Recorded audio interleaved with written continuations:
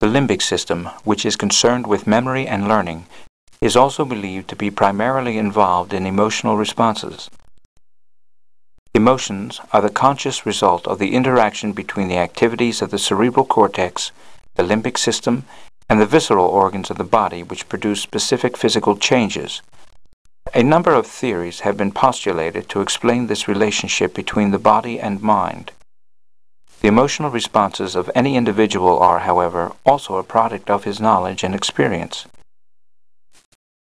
The anatomy of the limbic system includes the amygdaloid bodies, which contain both incoming and outgoing nerve fibers and may help to regulate emotions, particularly aggression. The fornix, a thick bundle of nerve fibers which forms the outgoing pathway from the hippocampus. The afferent fibers, which bring impulses into the dentate gyrus and the area of Ammons horn.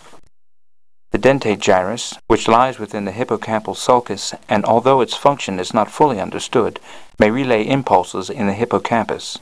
The subiculum, a region of the cortex composed of up to six different cell layers and a multitude of nerve pathways.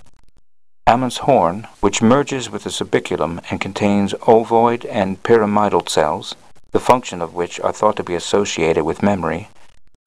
The efferent fibers, which carry information out of Ammons horn to other regions of the brain. The hippocampus, which is composed of folded layers of cells and fibers and is associated with emotions, learning, and short term memory. The parahippocampal gyrus, a highly specialized area of nerve cells concerned with memory pathways. The mammillary bodies, which have incoming and outgoing nerve fibers and acts as a relay station between the limbic system and the brain. And the septum pellucidum, which links the amygdala and the hypothalamus and is believed to be concerned with pleasure reactions.